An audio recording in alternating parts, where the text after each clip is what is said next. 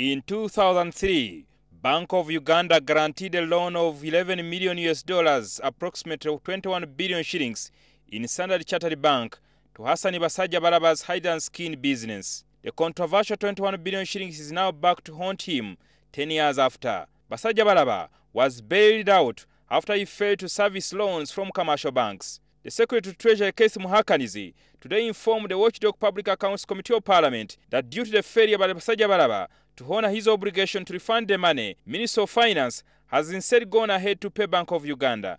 You tell us how you came to ask a loan for 21 billion from Bank of Uganda on, on behalf of businessman. We, what we did was simple.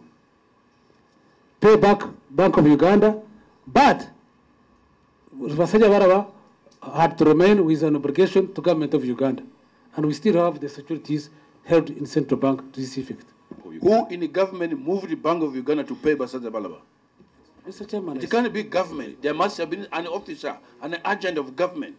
The committee was also informed that Basajjabalaba attempted to forge new titles of the properties he used as collateral to the central bank. We went to the court and uh, secured a reversal of the cancellation. Those transfers were fraudulent and he cancelled the title. Why? Because they were so numerous and even the certificates of the, the transfers were a bit forged. The MPs were also upset after learning that the Minister of Finance is unaware of the location of the properties and that they are still in the hands of Basajjabalaba. Your boss has said that you know them and you know where they are. I, I, No, you wait. You have said the officer in charge of those properties. Is Mr. Boch? Who knows is the officer who is here. no, I don't. They, they are not transferred in government's name. I don't know. Then they are not our property. I want to cross-check with uh, the system why we haven't taken action and come back to you. CID will be directed to swing into action, to go into those properties and find out who is transacting business there. As we talk now, Basajjabalaba still is in possession of these properties and he, he collects rent from them. I think to, te- Don't intimidate the chair.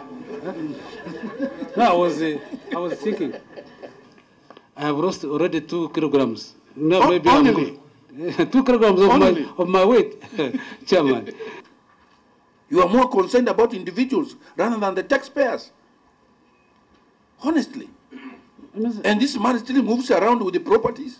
The same Basajjabalaba was recently paid 182 billion shillings in compensation for the loss of business in the state markets. Muhakanizi was also put to task to explain the overspending of over 490 billion shillings beyond the required 18% in the budget.